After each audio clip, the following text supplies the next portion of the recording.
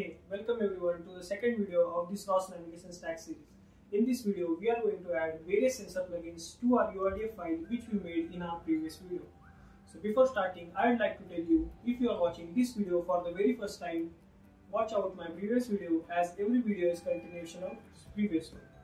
So before starting, make sure you subscribe to the channel and hit the bell icon as I bring such an interesting video every week. So let's get started. So in this video, we are going to add various sensor plugins to our URDF file package which we created in our previous video.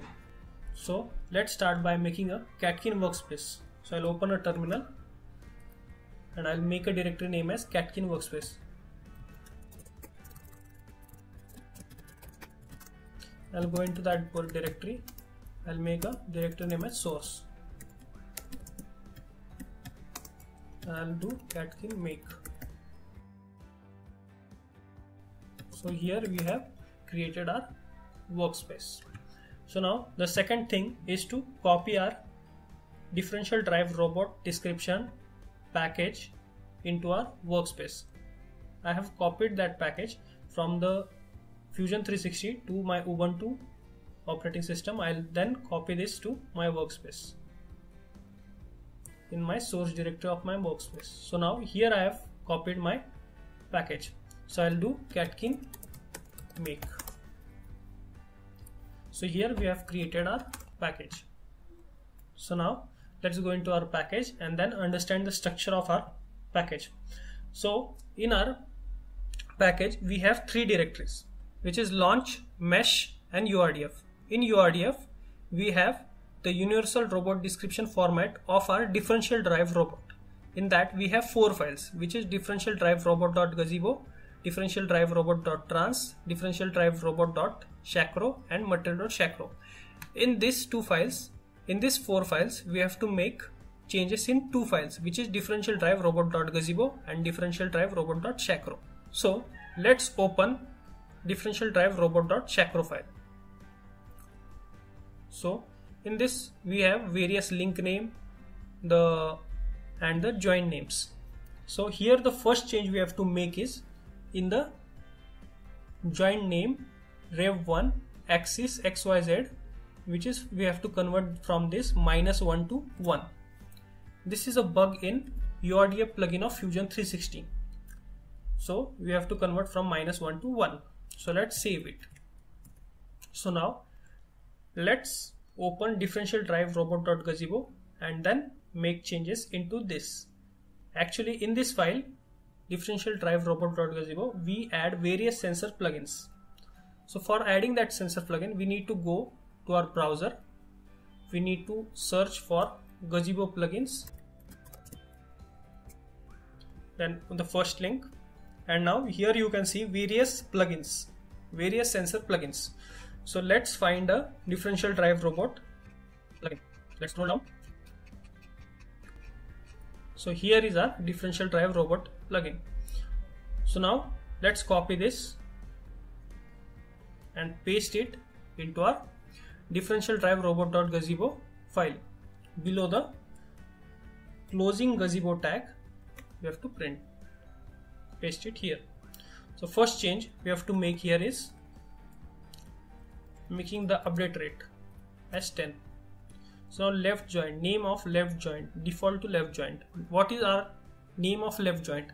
The name we will get from differential drive robot.xacro so here the name for our left joint is actually left joint means left wheel is rev2 and for right wheel is rev1 so for this I'll make I'll just delete this and I'll write rev2 and for right joint is rev1 it is case sensitive.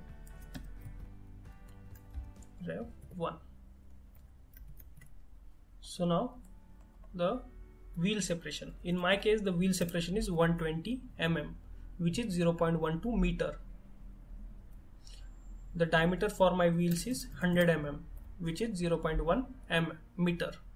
The wheel acceleration you don't need to change wheel acceleration wheel torque the command topic. It should be command velocity odometry topic odom odometry frame as odom base footprint. So now base footprint our here is base link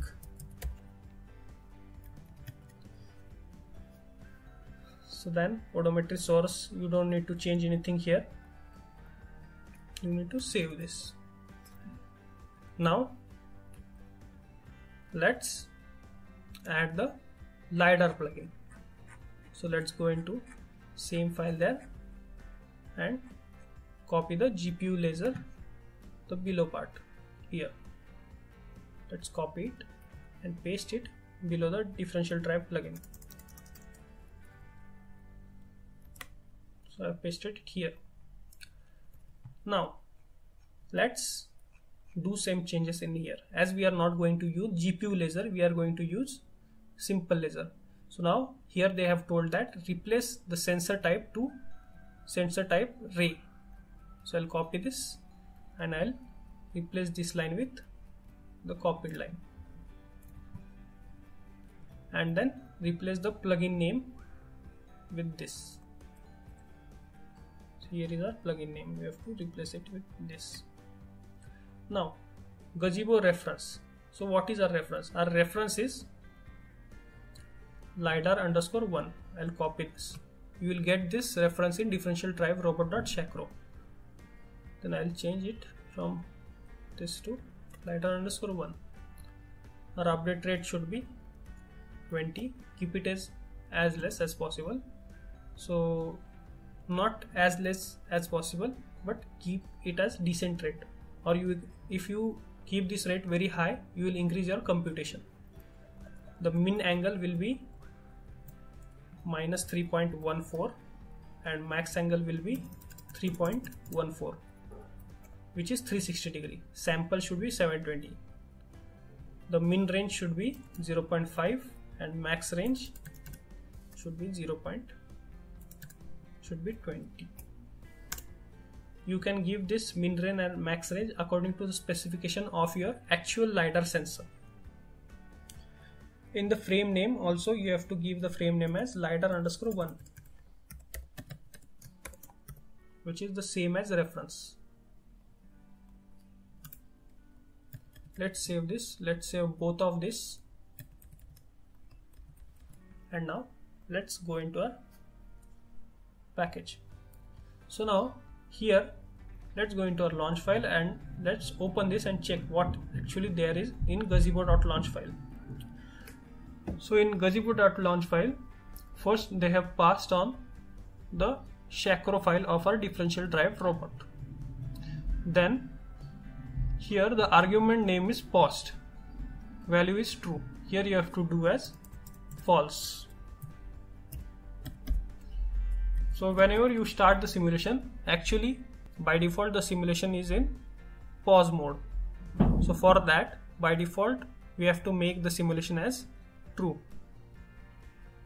So these are all the changes we have to make. We'll save this and now what we'll do we'll just once again do catkin make.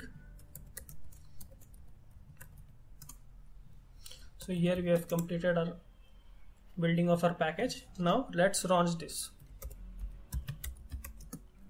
let's first source our workspace.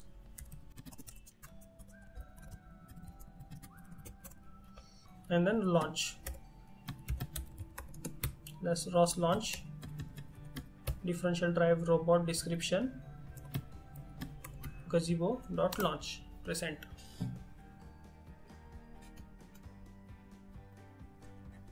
so now here we have launched. But we are not able to see our laser so let's check what's the issue. Just do it here. Topic list. So here we cannot see we can see our laser topic but we cannot see our laser. Means our laser is working but we cannot visualize that thing.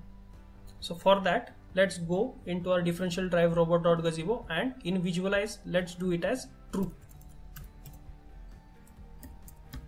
so we can visualize our lidar. So let's close this once again.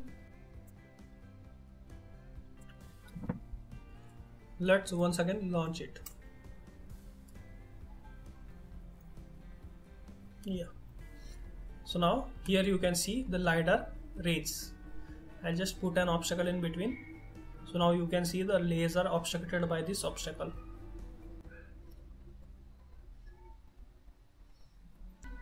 now here we have added our laser plugin. Now let's check whether our differential drive plugin works as expected.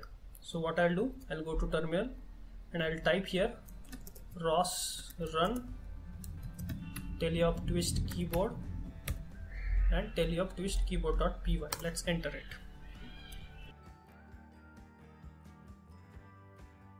So now let's try to move our robot around so here you can see we can move our robot.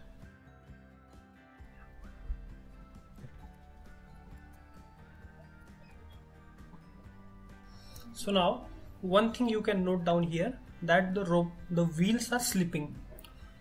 So for that thing the parameter you have to change is in differential drive robot.gazebo you have to change from the mu1 mu2 parameters to high. I'll make it as 15,000 and for left wheel also I'll make it as 15,000 and I'll just reduce the friction for caster. I'll save this and again I'll run it. And now as we have visualized our lidar sensor. We don't need that thing to visualize it again so I'll make it as false.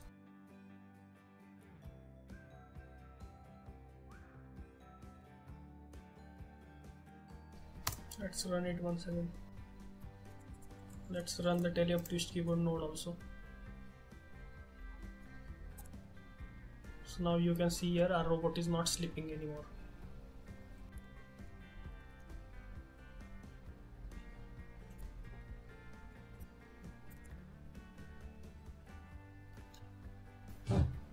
so this was all about adding gazebo plugins to our URDF file. And in the next video we are going to make a world for this. So stay tuned for the next video. Until then stay creative with me technofetch